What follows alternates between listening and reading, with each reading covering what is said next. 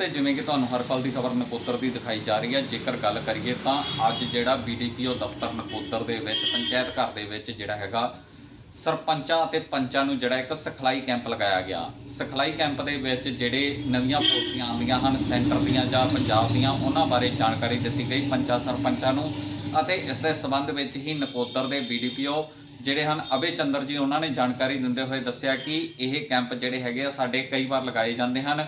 ਤਾਂ ਕਿ ਜਿਹੜੇ ਸਰਪੰਚ ਅਤੇ ਪੰਚ ਬਣੇ ਹੁੰਦੇ ਹਨ, ਉਹਨਾਂ ਨੂੰ ਇਹਨਾਂ ਬਾਰੇ ਜਾਣਕਾਰੀਆਂ ਦਿੱਤੀਆਂ ਜਾ ਸਕਣ, ਜਿਹੜੀਆਂ ਸੈਂਟਰ ਦੀਆਂ ਪਾਲਿਸੀਆਂ ਹੁੰਦੀਆਂ ਹਨ ਜਾਂ ਪੰਜਾਬ ਸਰਕਾਰ ਦੀਆਂ ਪਾਲਿਸੀਆਂ ਹੁੰਦੀਆਂ ਹਨ। ਅਤੇ ਉਹਨਾਂ ਨੇ ਉੱਥੇ ਹੀ ਇਹ ਵੀ ਜਾਣਕਾਰੀ ਦਿੰ- ਦਿੰਦੇ ਹੋਏ ਦੱਸਿਆ ਕਿ ਜਿਹੜੀਆਂ ਕੁਝ ਕਾਰਨਾਂ ਕਰਕੇ ਕੁਝ ਗ੍ਰਾਂਟਾਂ ਜਿਹੜੀਆਂ ਪਿੰਡਾਂ ਦੇ ਵਿਕਾਸ ਦੀਆਂ ਵਾਪਸ ਚਲ ਗਈਆਂ ਸਨ, ਉਹ ਵੀ ਹੁਣ ਜਿਹੜੀਆਂ ਹੈਗੀਆਂ ਸਾਡੇ ਪਿੰਡਾਂ ਦੇ ਵਿਕਾਸ ਵਾਸਤੇ ਆ ਰਹੀਆਂ ਹਨ ਅਤੇ ਜਿਹੜੇ ਪਿੰਡਾਂ ਦੇ ਵਿਕਾਸ ਦੇ ਕੰਮ ਰਹਿੰਦੇ ਹਨ, ਉਹਨਾਂ ਨੂੰ ਵੀ ਜਲਦੀ ਹੀ ਪੂਰਾ ਕੀਤਾ ਜਾਵੇਗਾ। ਕੈਮਰਾ ਪਰਸਨ ਦੇ ਨਾਲ ਪਨੀਤ ਅਰੋੜਾ, ਫੈਕਟ ਨਿਊਜ਼ ਨਕੋਦਰ। ਹਾਂਜੀ ਸਰ।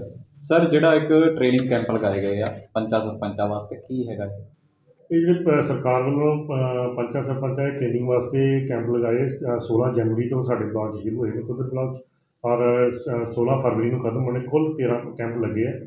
ਮਤਲਬ ਜਿਹੜੀਆਂ ਪੰਚਾਇਤਾਂ ਇੱਕ ਕਲਸਟਰ ਬਣਾਏ ਸੀਗੇ ਕਲਸਟਰ ਦੇ ਵਿੱਚ ਅ, ਦੋ ਦਿਨ ਦੋ ਰੋਜ਼ਾ ਕੈਂਪ ਸੀ ਇੱਕ ਟੀਮ ਦਾ। ਤੇ ਇਹਦੇ ਵਿੱਚ ਕਈਆਂ ਨੇ ਸਾਨੂੰ ਸਵਾਲ ਵੀ ਕੀਤਾ ਵੀ ਹੁਣ ਤੇ ਪੰਚਾਇਤਾਂ ਖਤਮ ਹੋਣੀਆਂ ਤੇ ਟ੍ਰੇਨਿੰਗ ਕੰਮ ਕਾਦੇ ਪਰ ਕਿਉਂਕਿ ਡੇਲੀ ਆਨਲਾਈਨ ਸਿਸਟਮ ਹੋ ਰਿਹਾ, ਨਵੇਂ ਨਵੇਂ ਟੈਕਨੋਲੋਜੀ ਆ ਰਹੀ ਹੈ ਤੇ ਜਿਹੜੀਆਂ ਸਾਡੀਆਂ ਪੰਚ ਸਰ, ਪੰਚ ਸਰਪੰਚ ਆ, ਉਹਨਾਂ ਨੂੰ ਵੀ ਅਪਡੇਟ ਕਰਨਾ ਜ਼ਰੂਰੀ ਹੈ। ਇਸ ਕਰਕੇ ਸਰਕਾਰ ਵੱਲੋਂ ਕੀਤਾ, ਮਤਲਬ ਕੀਤੇ ਕੈਂਪ ਲਗਾਏ ਗਏ ਨੇ ਤਾਂ ਕਿ ਉਹਨਾਂ ਨੂੰ ਪਤਾ ਲੱਗ ਸਕੇ ਵੀ ਆਪਾਂ ਕਿਹੜੇ ਖਰਚੇ ਜਿਹੜੇ ਡੋਂਗਲ ਯੂਜ਼ ਕਰਦੇ ਆ ਡੋਂਗਲ ਨਾਲ ਜਿਹੜੀ ਪੇਮੈਂਟ ਹੁੰਦੀ ਹੈ, ਪੰਚਾਇਤ ਸੈਕਟਰੀ ਔਰ ਸਰਪੰਚ ਦੇ ਨਾਲ ਹੁੰਦੀ ਹੈ। ਦੋਨਾਂ ਦੀ ਚੈਕਰ ਮੇਕਰ ਹੁੰਦੇ ਤੇ ਉਹਨਾਂ ਦੀ ਡਿਊਟੀ ਮਤਲਬ ਪੇਮੈਂਟ ਕਿੱਦਾਂ ਕਰਨੀ ਹੈ। ਕਿੱਦਾਂ ਕੰਮ ਚਲਾਉਣੇ ਆ ਆਨਲਾਈਨ ਸਿਸਟਮ ਜਿਹੜਾ ਉਹਦੇ ਬਾਰੇ ਦੱਸਿਆ ਗਿਆ। ਤੇ ਜਿੱਦਾਂ ਖਾਸ ਕਰਕੇ ਹੁੰਦਾ 15 ਐਫਸੀ ਦੀ ਜਿਹੜੀ ਗ੍ਰਾਂਟ ਆਉਂਦੀ ਹੈ ਉਹਦੇ ਵਿੱਚ ਟਾਈਟ ਤੇ ਅਨਟਾਈਟ ਕੰਪੋਨੈਂਟਸ ਹੈਗੇ ਆ, ਜਿੱਥੇ ਕਾਫੀ ਮਤਲਬ ਪੰਜ ਸਰਪੰਚ ਸਾਡੇ ਕਨਫਿਊਜ਼ ਨੇ। ਈਵਨ ਸਾਡੇ ਕਈ ਪੰਚਾਇਤ ਸਕੱਤਰ ਵੀ, ਉਹ ਕਲੈਰਿਟੀ ਦਿੱਤੀ ਗਈ ਹੈ ਵੀ ਜਿਹੜੇ ਅਨਟਾਈਟ ਫੰਡ ਦੇ ਵਿੱਚੋਂ ਕੰਮ ਕਿਹੜੇ ਲੈਣੇ ਆ। ਟਾਈਟ ਦੇ ਵਿੱਚ 30-30% ਦਾ ਹੁੰਦਾ 30% ਸੈਨੀਟੇਸ਼ਨ 30% ਜਿਹੜਾ ਵਾਟਰ ਸਪਲਾਈ ਹੁੰਦਾ। ਉਸ ਦੇ ਬਾਰੇ ਕਲੈਰਿਟੀ ਦਿੱਤੀ ਗਈ ਵੀ ਆਪਾਂ ਜਿਹੜੇ 30% ਪੈਸੇ ਆ, ਸਿਰਫ ਪਾਣੀ ਦੇ ਕੰਮਾਂ ਤੇ ਹੀ ਖਰਚਣੇ ਆ 30% ਸੈਨੀਟੇਸ਼ਨ ਦੇ ਕੰਨ ਕਰਨੇ ਆ ਅਨਟਾਈਡ ਆਪਾਂ ਜਿੱਥੇ ਮਰਜ਼ੀ ਕਰ ਸਕਦੇ ਆ ਪਰ ਅਨਟਾਈਡ ਜਿਹੜਾ ਇਹ 30% ਚਾਹੇ ਪਾਣੀ ਦਾ ਚਾਹੇ ਸੈਨੀਟੇਸ਼ਨ ਦੋਨਾਂ ਦਾ ਕਲੱਬ ਕਰਕੇ ਵੀ ਕਰ ਸਕਦੇ ਜੇਕਰ ਗੱਲ ਕਰੀਏ ਸਰ ਕਈ ਪਿੰਡਾਂ ਦੇ ਵਿੱਚ ਹਜੇ ਵੀ ਕੰਮ ਰੁਕੇ ਹੋਏ ਆ। ਕਿਸ ਤਰ੍ਹਾਂ ਚੱਲਣਗੇ ਉਹ ਜਾਂ ਕਿਸ ਤਰ੍ਹਾਂ ਹੋਣਗੇ?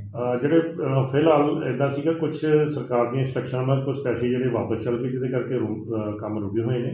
ਪਰ ਜਿਹੜੇ 15ਵੇਂ ਵਿੱਤ ਕਮਿਸ਼ਨ ਦੇ ਪੈਸੇ ਆ ਰਹੇ ਜਿਹੜੇ ਕੁਝ ਪਏ ਨੇ ਉਹਨਾਂ ਨਾਲ ਆਪਾਂ ਮਨਰੇਗਾ ਕਲੱਬ ਕਰਕੇ ਤੇ ਉਹ ਉਸ ਦੇ ਪ੍ਰੋਜੈਕਟ ਬਣਾ ਕੇ ਤੇ ਉਹ ਕੰਮ ਕਰਵਾਏ ਜਾ ਰਹੇ ਪਰ ਕਈ ਪਿੰਡਾਂ ਦੇ ਵਿੱਚ ਆਪਾਂ ਨਵੇਂ ਪ੍ਰੋਜੈਕਟ ਸੋਲਿਡ ਵੇਸਟ ਮੈਨੇਜਮੈਂਟ ਤੇ ਲਿਕੁਇਡ ਵੇਸਟ ਦੇ ਮਿਲ ਰਹੇ ਨੇ ਉਹਦੇ ਵਿੱਚ ਆਪਾਂ ਕੰਮ ਕਰਵਾਵਾਂਗੇ